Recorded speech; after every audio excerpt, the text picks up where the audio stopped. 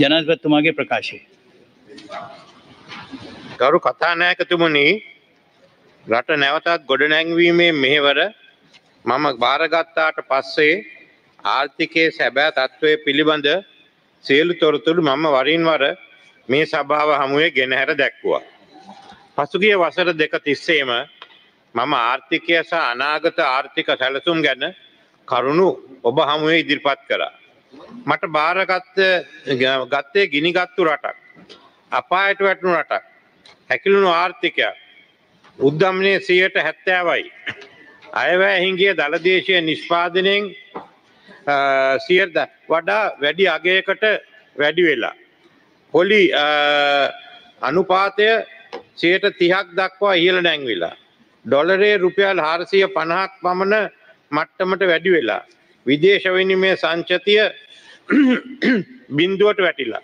සතියක් තරම් කාලයක්වත් ආහාරස අත්‍යවශ්‍ය දව්‍ය ආනයනය කරන්නට සල්ලි තිබුණේ නැහැ. රටේ බහුතරයක් හිටියේ පාරේ. සමහරු දවස් ගනම් පෝලිම්වල තවත් සමහරු දවස් ගණන් අරගලවල. රටත් ආර්ථිකයත් යළි ගොඩනැකිවීම අභියෝගය මම භාරගත්තය යන්න එවැනි පසුබිමකයි. වෙනත් කිසි කෙනෙ ඒ වෙලා රට බේරා ගැනීමේ අභියෝගය භාරගත්තේ නෑ. ඔවුන් විවිධ කොන්දේසි ඉදිරිපත් කළා. නමුත් මම කිසිම කොන්දේසියක් නැතිව රට භාරගත්තා. මගේ පක්ෂයට මේ පාලිමේන්තුවේ තිබුණේ එකම එක මන්ත්‍රී දුරයි. ඒම අනතුරුදායක පසුබිමකයි මම මේ වෙහට උර දුන්නේ. බයක් සැකයක් නැතිව ඒ අභියෝගය මම භාරගත්තේ හේතු තුනක් උඩ. මට සැලැස්මක් තිබුණා අත්දැකීම් තිබුණා ඒ වගේම ජාතන්තර සම්බන්ධලා තිබුණා. ඒ නිසා අපායට වැටලා තිබුණ මේ රට ගොඩගන්න පුළුවන් කියන විශ්වාසය මට තිබුණ. ගඩු කතානායකතුමනි. එතැන් පටන් විදිමත් ලෙස ආර්ථික ස්ථායි කරන ප්‍රතිසාධක වැඩසටාන් ක්‍රියාත්ම කරන්නට අප මුල පිරුවා. එහි සමස්ත ප්‍රතිඵලයක් ලෙස විශ්ව විස්තුන වසරේ මැදභාගය සිට ආර්ථික වර්ධනය ගමන ආරම්භ වී තිබෙනවා. මෙම වර්ෂය ආර්ථික වර්ධනය සියයට තුනක්වත් වේ යැයි අප අපේක්ෂා කරනවා.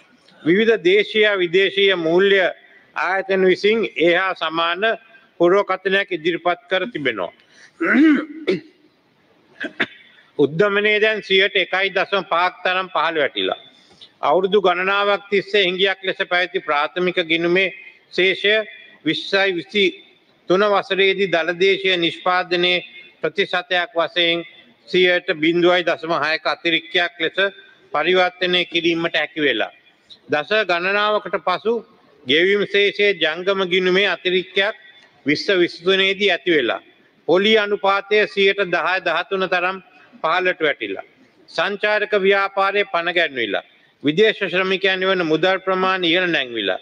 විශ්ව විසි අතර පළවෙනි මාස තුනවන විට විනීමය අනුපාතය එමරිකාන් ඩොලර් එක රුපියල් තුන්සියකට අඩුමට්ටමකට ගෙනීමට අපට පුළුවන් වුණා. විදේශ විනිමය සංචතිය ඩොලර් බිලියන පාක් ඉක්වන අගයට ඉහළ නැංවිලා. මේ තත්ත්වය අපට උදාකරගන්ට පුළුවන් වුණේ අභියෝගාත්මක දුෂ්කර ඒත් නිවැරදි මගක ගමන් කර නිසයි. මේ රටේ සමාර කණ්ඩායම් අප ගන්න හැම පියවරක්ම විවේචනය කළ. අයිම සංවිධානය සහය ගැනීම සිට රටේ ආර්ථික විනය සැකසීම සඳහා අනුගමනය කළ හැම පියවරක්ම විවේචනය කළත්. නමුත් ඒ සියලු විවේචන අපවාද පාචල් මැද අපි වැල් පාලම තරණය කරන්නට පටන් ගත්තා. මේ මග හැර වෙන මගක් නැති බව අපි අවබෝධය කරගෙන හිටිය. විශ්ව විසිතුනේ සැප්තැම්බරවල සිට පියවරෙන් පියවර අප ඉදිරියට ගියා. රාජ්‍ය වියදම් පාලනයට පියවර රැසක් ගත්තා. විවිධ බාණ්ඩ හා සේවාවල මිල ප්‍රතිසංස්කන රාශයක් සිදු කරා. රාජ්‍ය ආදායම් පැවතියේ දළදේශය නිෂ්පාධිතයේ සියට අටක් තරම් පහළ මට්ටමකයි. දළදේශය නිෂ්පාදනයෙන් සියට විශ්සක තරම් වන රාජ්‍ය වියදම් කළමනාකාරය කර ගැනීමට එම රාජ්‍ය ආදෑම කිසිසේත් ප්‍රමාවත් නෑ. එම නිසා රාජ ආදෑම් වැඩි කර ගැනීමට කටයුතු කිරීම හැට වෙනත් විකල්පයක් තිබුණෙ නැහැ. මේතුවක්කල් සිටි බොහෝ ආණ්ඩු රස්සා දුන්නේ පඩි වැඩි කරේ. ඉන්දන විදුලිය හා ජලයාදී සේවා අඩුවට දුන්නේ අයවැඟ අයවැ හිඟ පියවා ගත්තේ පිට රටවලට ණය වෙලා. නැත්නම් සල්ලි අච්චු ගහලා. අපි ඒ තත්ත්වය වෙනස් කරා. මෙහෙම වෙනසක් එක පාටම වින දරාගන්න අමාරුයි. මොකද අවුරුදු ගණනාවක් අප පුරුදු පුහුණු වෙලා හිටියේ ඒ වගේ ක්‍රමයකට නිසා. ඒත් රට යළිත් ගොඩනාගන්න නම් කවුරුන් හෝ මේ වෙනසට මුල පිළිය යුතුයි. ගරු කතානායකතුමනි. අප ප්‍රතිසංස් කරන මාලාවකින් රටේ මුල්්‍ය විනිය තවුරු කරා. ආර්ථික ස්ථායිකරණ කර ගැනීම පිණිස අත්‍යවශ්‍ය වූ අනෙක් ප්‍රතිසංස් කරන වූයේ ණය ප්‍රතිවියෝගත කරණයයි. විශ්ව විසි දෙකේ සැප්තැම්බට මාසේ IMF ගියසුම්වලට අත්සං කිරීම සඳහාද මෙම කාරණය වැදගත් වුණා. විශ්ව විසි දෙක වසරේ දෙස්තැම්බර මාසේදී පැවති සමස්ත ණය ප්‍රමාණය දළදේශය නිෂ්පාධිතය ප්‍රතිශතයක් වසයෙන් සියයට එකසිය විසි අටයි. මෙම ණය ප්‍රමාණය කිසිම ආකාරයකින් යහපත් තත්ත්වයක් වුණේ නෑ. එම නිසා ණය ප්‍රතිවගත කරන සඳහා අප වැඩපිළිවෙලක් ක්‍රියාත්ම කරා. එයම් එය මූලිකාංශ තුනක් කරා සිදිකිරීමට සැලසුම් කරා.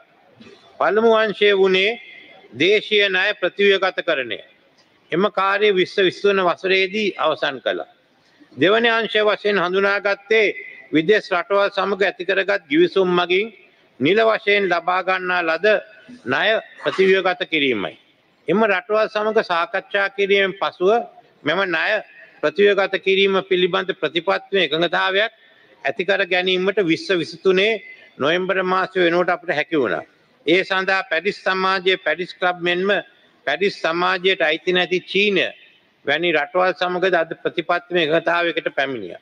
මේ පිළිමත් දැන්ට සිදු කළ යුතු ඇත්තේ නයහිමි රටවල් සමඟ අවබෝධතා ගිවිසුමක් අත්සන් කොට එම කාර්ය නිම කිරීම. ඒ සඳහා වන කෙටුම් පත් පිළිබඳ දැනට ශ්‍රී ලංකා රජය නිල නයහිමියන්ගේ කොමිටුව.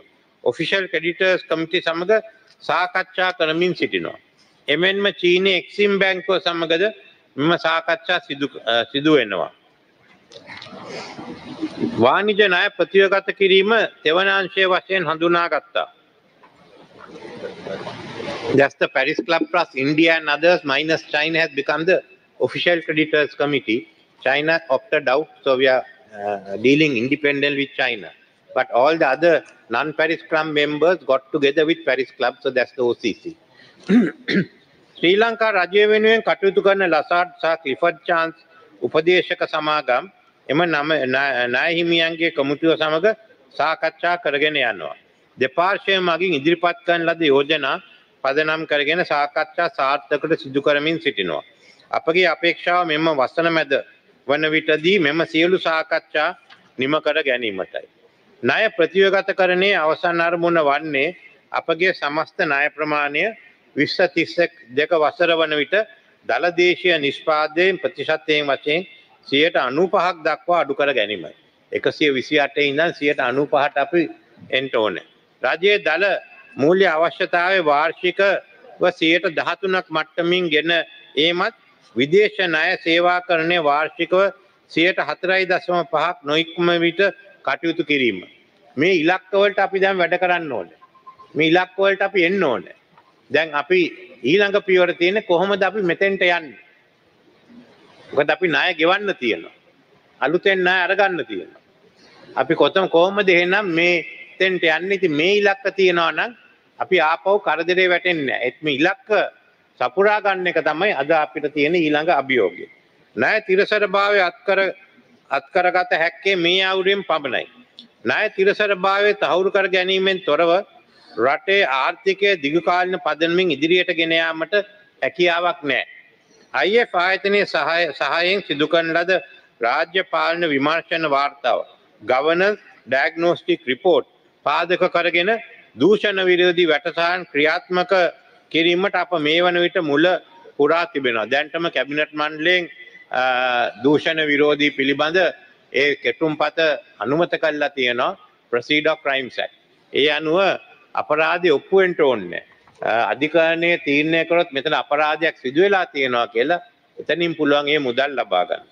අප ක්‍රියාත්ම කළ ආර්ථිකය යළි පණගැන්වීමේ වැඩසටා නොස්සේ ලැබෙන ප්‍රතිඵල හරා ජනතාවට සහන ලබාදීමට අපගේ රජය පසුගිය අවුරුදු දෙකතිස්සේම කටයුතු කර තිබෙනවා. අස්වැසුම වැඩසටහන අනිකුත් සහන වැඩසටහන යටතේ රටේ දිලිඳු ජනකණ්ඩායම් වලට ඍජුව විශාල මුදල් ප්‍රමාණයක් ලබා දීමට කටයුතු කළා. වකුගඩු රෝගීන් වැඩිහිටියන්න ආබාධ්‍ය පුද්ගලයන් වෙත ලබා දුන්න දීමනා විශ්ව විසිඅතර අප්‍රේල් මස සිට සියයට පණහකින් වැඩිකර තිබෙනවා. කලින් පැවති සමුෘද්ධි සහනාධාරමෙන් තුන්ගනයකත් වඩා වැඩි මුදලක් මෙම වැඩසටාන යටතේ දිලිඳු කොටස් වෙත ලබා දෙනවා. මෙ- මෙම සහන වැඩසටහන් සඳහා විශ්ව විසි අතර වසරේ තුළදී රුපියල් බිලියන දෙසිය පහක් වැය කරනවා. මුලින්ම ශ්‍රී ලංකාවේ සහන වැඩ පිළිවෙල ආරම්භ කළේ දෙවන ලෝක යුද්ධ කාලයේදී. එතැන් පටන් මේ මේසා විශාල මුදලක් දිලුදු ජනතාව කිසිදා ලබාදී නැහැ. විශ්ව විසි දෙක යලකන්නේත් විශ්ව විසි දෙක විස්සවන්න මහකන්නේත් විශ්ව විසිවන යලකන්නේත් විශ්ව විසිතුන විසි අතර මහකන්නේත් අප අනුගමනය කළ කෘෂිකාර්මික පිළිවෙත් මගින් සාර්ථක වී අස්වැන්නක් අපට ලැබුණ. මේ අස්වැනුවලින් කොටසක් නොමිලේ දිලුදු ජනතාවට ලබාදීමට රජය කල්පනා කර. ඒ අනුව පසුගිය වසරේත් මේ වසරේත් සිංහල දෙමළ අවුරුදු කාලයේ දිලුදු ජනකොටස් සඳහා නොමිලේ සහල් ලබාදීමට කටයුතු කරා. රජයට හැකි ආකාරයකට දිලුදු ජනතාව රැකබලා ගැනීමට ඉදිරියේදීත් කටයුතු කරනවා. මේ සඳහා විශ්ව විසි හතර දී රුපියල් බිලියන දොඩාක පමණ මුදලක් වැෑවේ යැයි අපේක්ෂා කරනවා. විශ්ව විසිත ජනවාරි මාසයේ සිට රජයේ සේවකැන් රුපියල් පන්දාහක මාසික ජීවනාධාරයක් ගෙව්වා. එය අප්‍රේල් මාසයේ සිට රුපියල් දහදාහක මාසික ජීවනාධාරයක් දක්වා වැඩි කළා. එමෙන්ම අප්‍රේල් මාසයේ සිට විශ්‍රාමික රජයේ සේවකින් අට රුපියල් දෙදස් පන්සියක මාසික විශ්‍රාමික දීමනාවක්ද ලබා දුන්න. ජීවන වියදම් පිළිබඳ පුළුල්ව බලන විට මෙම දීමනා ප්‍රමාණවත් වන්නේ නෑ. නමුත් රජයට දැරහැකි උපරිම මට්ටමක සහන ලබා දී තිබෙනවා. රුපියල ශක්තිමත්වීම නිසා ආනෑනය බාණ්ඩුවල මිල ගණන් සැලකිය යුතු ප්‍රමාණයකට පහළයෑමක්ද මෑත මාසවල දකිින්ට පිළිවුණ. ගෑස් කංජතෙල් කිරිපිටි ආදී බාණ්ඩවල මිල පහල දැමීමට රුපියල් ශක්තිමත්වීම උදවුන්නා. එමෙන්ම පොලි අනුපාතය පහළයාම නිසා ව්‍යවසායක අංශයටද වඩාත් පහසුවක් ඇති වෙනවා. වැටුප් සංශෝධනයන් පිළිබඳ විවිධ ඉල්ලීම් අපට ලැබුණද ඒ පිළිබඳ විශ්ව විසි අතරේදී කටයුතු කිරීමට තම රාජ්‍ය ආදයම් වර්ධනයක් දැනට නැහැ. අතීතයේ වගකීම් විරහිත ලෙස විවිධ සහන ලබාදී අපගේ ආර්ථිකයත් ජනදීවිතයත් බිඳ දැමුවන්. එවැනි තත්ත්වයකට අපට යළිත් යන්ට බැහැ. සමාජයේ සෑම කොටසටම ආර්ථික අර්බෝධය පීඩාව තිබෙනවා. සමාජයේ සෑම ජනකොටස්ම ඉතා කටුක මාවකතක පසුගිය වසර දෙක තිස්සේ ගමන් කොට තිබෙනවා. විශ්ව විසි අතර ආර්ථික වර්ධනය වන ස්වරූපය මෙන්ම රාජ්‍ය ආදයම් වැඩිවන ආකාරය පදනං කරගෙන රජය අංශයේ වැටුප් පිළිබඳ යළි සලකා බැලීමක් කළ හැක්කේ ලබන වසරේදීයි. ඒක තමයි ඇත්ත. දැන් අප ක්‍රියාත්ම කරන ආර්ථික වැඩපිළිවෙලෙන් පිට පැන්නොත් යළිත් අප ඇද වැටෙන්නේ මහ විනාශයකටයි. විශ්ව විසි දෙක සෙප්තැම්බර් මස සිට IMF වැඩසටාන ඇත්තතේ අපි ක්‍රියාත්ම කරන ලද වැඩසටාන් ඔස්සේ දැනට සාධනීය ප්‍රතිලාබ රැසක් අත්කරගෙන තිබෙනවා. ආර්ථික ස්ථායි කරන හා ප්‍රතිසාධක වැඩපිළියෙන් ඔබට ගොස් ඔබට ගොස් තිරසර මාවතකට අපගේ ආර්ථිකය පරිවර්තනය කළ යුතුව තිබෙනවා. ඒ සඳහා විදිමත් හා කඩිනම් වැඩපිළිවෙලක් ක්‍රියාත්ම කිරීමට අප අදතිත් කරගත යුතුයි. අප තවමත් විදේශ ණයගෙවන්නේ නෑ. ණය ප්‍රතිවගත කරණය අවසානයේදී අප ණය ගෙවීමට කටයුතු කළ යුතුයි. ඒ සඳහා රාජ්‍ය ආදෑම් වැඩි කරගත යුතුයි. එමෙන්ම විදේශ විනිමය සංචිතය ගොඩනගා ගත යුතුයි. හැමදාම විදේශනය ලබාගෙන රටේ අනාගතය පිළිබඳ අවිනිශ්්‍යතා නිර්මාණය කිරීමට තවදුරටත් ඉඩ තබන්න බෑ. එහෙම කළොත් සිදුවන්නේ රටේ ඉදිරි පරම්පරාව උගසට තැබීමයි. රටේ තිබෙන සම්පත් නිසිලට ප්‍රෝජනයට ගෙන නාස්ති නොකර කාර්යක්ෂප කළමනාකාරයක් ඔස්සේ ආර්ථිකය සාධනීය පරිවර්තනයකට ලක් කළ යුතුයි. විදේශ ගණ දෙනු මත බහුලව ක්‍රියාත්මක වන කුඩා ආර්ථිකයක් බැවින් අප අයනයනය කෙරෙහි අපනයනය කෙරෙහි වැඩි අවධානයක් යොමු කළ යුතුයි. එමෙන්ම මෙහිදී පරිසරය ආරක්ෂා වන්න අයුරින් හරිත ආර්ථිකයක් කෙරෙහිද අවධානය යොමු කළ යුතුයි. තොරතුරු තාක්ෂණයක් ඇතුළ නව තාක්ෂණික අංග ආර්ථික ක්‍රියාකම්වලට බද්ධ කළ යුතුයි. එසේ නොමැතිව ආර්ථිකයක් දිගු කාලයක් පුරාවට තිරසාරව පවත්වාගෙන යාම නොහැක. ආර්ථික ප්‍රතිසංස්කරන වලින් ලැබෙන ප්‍රතිලාභ සමාජයේ සෑම කොටසකටම නිසි ලෙස බෙදියාම කේන්ද්‍ර කරගත් සමාජ වෙළඳපොළ ආර්ථිකය පදනමක් අප සකසාගත යුතුය. අපගේ ආර්ථික ශක්තිය වැඩිකර ගැනීම සඳහා වේගවත් ආර්ථික වර්ධන මාවත්තකට අවතීර්ණ විය යුතුයි. ඉහළ ආර්ථික වර්ධනයක් මෙන් අපගේ ණය බර සැහැල්ලු වෙනවා. ඒ විතරක් නෙවෙයි ජීවන වියදමද අඩු වෙනවා.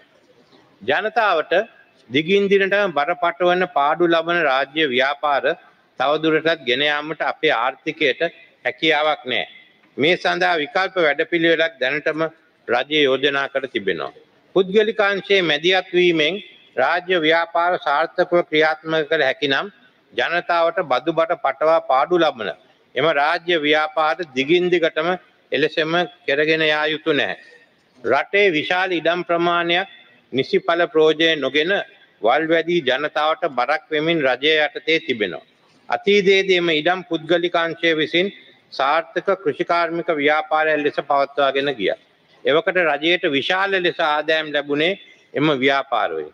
රටට විශාල වශයෙන් විදේශ විදුලි ලැබුණේ එම ව්‍යාපාරවලින්. එම නිසා වාණිජ වශයෙන් ක්‍රියාත්මක අපනයනය කෙරේ යොමු වුණ දේශීය පුද්ගලිකාංශය මැදිහත් කරගත් වාණිජ අපනයන කෘෂි ආර්ථිකයක් නිර්මාණය කර ගැනීමට මූලික පියවරක් අප ගෙන තිබෙන. එක්දස් නමසය තිස් ගණන් වලින් පසු ගොයි පවුල් ලක්ෂ විශ්සකට පමණ තම ඉඩම් අයිතිය ලබාදීමේ උරුමය වැඩපිළිවෙල ඉතා සාර්ථකව ඉදිරියට යනවා. මේ මගින් ඉඩම්වල පූර්ණ සින්නක් කර අයිතිය ඔවුන්ට ලැබෙනවා. මෙම වැඩසටහන පාදක කරගෙන ශ්‍රී ලංකා පුරා දහස් ගණන් කෘෂිව්‍යාපාර්කයන් ඉදිරියේදී බිහිවීම වලක්වන්ට බැහැ. එමෙන්ම පවත්වන කෘෂීඩම් වලින් ඉහළ මට්ටමින් ප්‍රෝජනයක් ගැනීමට කටයුතු කිරීම අත්‍යවශ්‍යයි. ඒ අනුව කෘෂිකාර්මික ඵලදායිතාවය වර්ධනය කිරීම පදනම් කරගෙන කෘෂිකාර්මික නවීකරණ වැඩසටහන දියත් කර තිබෙනවා. නවීන තාක්ෂණය පදනම් කරගෙන ගොවි ජනතාව ශක්තිමත් කිරීම මෙම වැඩපිළිවෙලේ එක් අරමුණ. දැන්ට ප්‍රාදේශීය ලේකම් කොට්ටාස 26ක මෙම වැඩපිළිවෙල දියත් කර තිබෙනවා. ඉදිරි මාස කිහිපයක් තුළ තවත් ප්‍රාදේශීය ලේකම් කාර්යාල කොට්ටාස 75ක් මෙම වැඩපිළිවෙලට එකතු කරගන්න. ශ්‍රී ලංකා ආර්ථිකයේ ඉතාමත් ශක්තිමත් අංශයක් වූ තිබූ සුළු හා මධ්‍යම පරිමාණ ව්‍යවසායයන් බොහෝමයක් ආර්ථික අර්බුද මධ්‍ය අකර්මණ්‍ය වුණා. එම ව්‍යාපාර වසා දැමුවා. ඒවා යථා තත්ත්වයකට පත් කිරීමට වැඩපිළිවෙලක් දැන් සකස් කොට තිබෙනවා. මේ සඳහා විශාල ආයෝජනයක් කිරීමට රජය දැන්ටමත් කටයුතු කර තිබෙනවා. නා යෝජනා ක්‍රම රැසක් සංවිධානය කර තිබෙනවා. පරාටේ නීතිය සංශෝධනය කොට කෙටි කාලයක් තුළ මෙම අංශයට තවත් සහනයක්ද ලබා දී තිබෙනවා. මහා භාණ්ඩාගාරය තුළ සුළු හා මධ්‍යම පරිමාණ ව්‍යවසායන් පිළිබඳ විශේෂ ඒකකයක්ද ස්ථාපනය කිරීමට කටයුතු සම්බන්ධීකරණය කරනවා. සංචාරක ව්‍යාපාරය ඉතා වේගෙන් ඉදිරියට යන ව්‍යාපාරයක් බවට පත්වී තිබෙනවා. විශ්ව විසිතුනේ පළවෙනි මාස හතරා සංසන්ධන විට විශ්ව විසි අතරේ පළවෙනි මාස හතර තුළ සංචාරයකින් පැමිණීම සියට හැත්ත පාකට වඩා වැඩි වර්ධනයක් තිබෙනවා. අද වන විට මේ වර්ෂය තුළදී ලක්ෂ අටක ආසන්න සංචාරක සංඛ්‍යාවක් ලංකාවට පැමිණි තිබෙනවා. සංචාරක කර්මාන්තයට අවශ්‍ය අටිතල පහසුකන් නැම්ගීමට රජය පුද්ගලිකාංශයද මැදිහත්ව ක්‍රියා කරගෙන පුළුල් වැඩසටානක් ක්‍රියාත්මක කරනවා. අපගේ විදේශායෝජන ශේත්‍රයේ ශක්තිමත් කිරීම දිගුකාලීන ආර්ථික වර්ධන ක්‍රියාවලියක අත්‍යවශ්‍ය අංගයක්. අප රට තුළින් මතු කරගත හැකි ආයෝජන සීමා සහිත නිසා විදේශායෝජන රටට ගලා එම ඒ සඳහා විධිමත් නීතියා නවීන ආයතනික රාමුවක් අවශ්‍යයි. ඒ සඳහා දැන්ට ක්‍රියාත්මක පැරණි ආයතන රැසක් ඒකාබද්ධ කොට නව ආර්ථික කොමිසමක් ස්ථාපිත කිරීම අපගේ අපේක්ෂාවයි. එමෙන්ම පැරණි නීති වෙනුවට ඒකාබද්ධ කළ නව නීතියක්ද ආයෝජනය වෙනුවෙන් සකස් කර තිබෙනවා. ඒ සඳහා මෙම මාසයේදීම අවශ්‍ය කටයුතු සිදුකිරීමට අපේක්ෂා කරනවා. රට වේගවත් ආර්ථික වර්ධනයක් සඳහා නවීකරණය කළ යුත්තේ ශ්‍රේෂ්ඨ රැසක් තිබෙනවා. අධ්‍යාපනය සෞඛ්‍ය ප්‍රවාණය වෘතිය පුහුණු අධ්‍යාපනය නගර සංවර්ධනය ආරක්ෂකාංශය තොරතුරු තාක්ෂණය විදේශ සම්බන්ධතා සැපියුම් ජලය අපනයන කර්මාන්තය ශ්‍රම බලකාය දිය අතරට එනවා. විදුලි බල ශේෂත්‍රය සමස්ත වර්ධනය අනමුණු කරගෙන සිදු කළ යුතු ප්‍රතිසංස්කරන ක්‍රියාත්ම කිරීමට ප්‍රවේශයක් ලබාගෙන තිබෙනවා. අපගේ විදේශ සම්බන්ධතා ජාලය ආර්ථික කටයුතු පාදකව ඉදිරියට ගෙන යාමට අපේක්ෂා කරනවා. ජාත්‍යන්තර වෙළඳාම් පිළිබඳ ආයතනයක් විදේශ කටයුතු අමාත්‍යංශය සුළ ස්ථාපිත කිරීමට අදාළ මූලික වැඩ කටයුතු සිදු කර තිබෙනවා. ඒ සඳහා නව නීතියක්ද සකස් කර තිබෙනවා. රටේ ආර්ථික ප්‍රතිසංස්කරණ අරමුණු කරගන්මින් නව නීතියා නීති සංශෝධන තිහකට වැඩි සංඛ්‍යාවක් පසුගිය වසර දෙක කාලය තුළ මෙම පාර්ලිමේන්තුවේ සම්මත වී තිබෙනවා. එමෙන්ම නොබෝ දිනකින් එවැනි වූ නීති රැසක් මෙම පාර්ලිමේන්තුවට ඉදිරිපත් කිරීමට අපේක්ෂා කරනවා. ආර්ථික පරිවර්තන පනත් කෙටුම් පති ඉකනොමික් ට්‍රන්ස්ෆර්මේෂන් බිල් රාජ්‍ය මූල්‍ය පනත් කෙටුම් පත පබ්ලික් ෆිනන්ස් බිල් හා රාජ්‍ය ණය කළමනාකාර පනත් කෙටුම් පත පබ්ලික් ඩෙට් මැනේජ්මන්ට් බිල් ඒ අතර ප්‍රමුඛ ස්ථානය ගන්නවා. ආර්ථික පරිවර්තන පනත් කෙටුම් පතට ශ්‍රී ලංකා ආර්ථික කොමිෂන් සභාව ආයෝජන යටිතල පහසුකම් සංස්ථාව ජාත්‍යන්තර වෙළඳ ආයතන ජාතික පලදායි කොමිෂන් සභාව ශ්‍රී ලංකා ආර්ථික හා වෙළඳ ආයතන ආවරණ ඇතුළත් වෙනවා. දිගුකාලීන රජයක් විසින් අනු- අනුගමනය කළ යුතු ක්‍රියාමාර්ග රැසක් ආර්ථික පරිවර්තන පනතේ ඇතුළත් කර තිබෙනවා. කුමන රජයක් අනාගතයේ බලයට පැමිණියද මෙම වාර්ථිකය යළිත් අගාධයකට ඇද නොදැනවීමට එම පනතේ ප්‍රතිපාදන අකණ්ඩව ක්‍රියා ඉදිරියට ගෙන යාමට කත්- කටයුතු කළ යුතු වෙනවා.